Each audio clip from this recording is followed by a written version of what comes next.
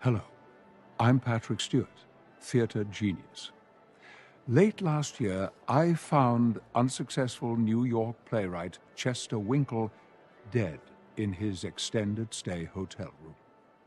Among his belongings were a hot plate, a stack of Baby Gap catalogs, and 12 American Dad episodes he had written for the stage in one cocaine fueled night. They were literally the finest collection of words ever put to paper. And now, we're proud to present the only one of Mr. Winkle's plays I didn't eat out of sheer jealousy Blood Crieth unto Heaven.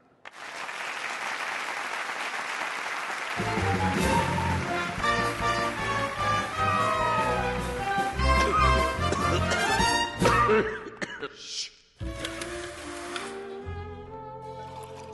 everyone! Stan will be here any moment. Do you think he'll like my gift, Mother? If it's anything like you, sweet Stephen, I'm sure he'll adore it. Lord, it's warm. Devil farted thick today. We got a face full, didn't we? Edna, be a good girl. Run downstairs and give the air conditioner a kick, won't you? Yes, ma'am. Whew.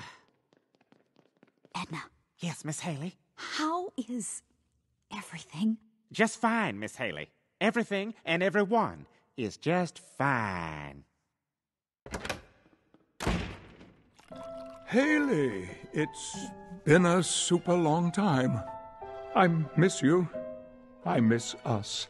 Having a ton of sex. You look tired.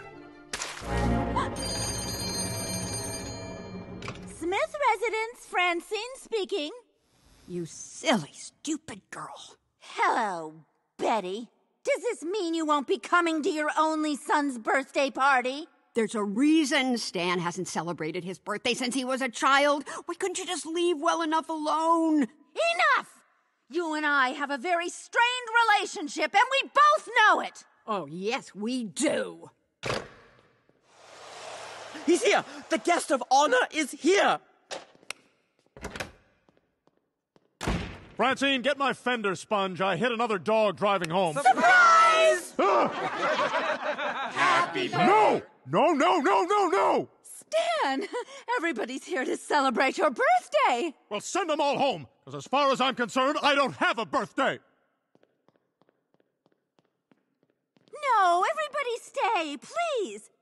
Dan, put on some music. This party could use a little dancing. Southern trees bear a strange fruit. What has gotten into you? I said no birthdays! But why? Why? I'll tell you why, but understand the why I'm talking about isn't the place where poor people learn to swim and gay drifters rule the showers. I remember everything about it so clearly. I was eight. It was the last time I had a birthday party. And you know what my biggest memory of that party was? Not the cake, not the presents. It was my dad packing up and walking out on us.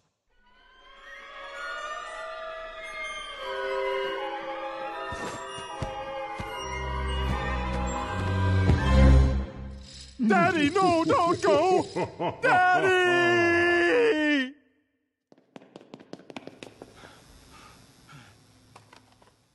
Stan, I never knew. Yeah, but I'm glad he's gone. He was a thief, and now he's in jail where he belongs. Daddy, would you like to open my gift now, Daddy? Not now, son! Damn this birthday! Damn it straight to hell!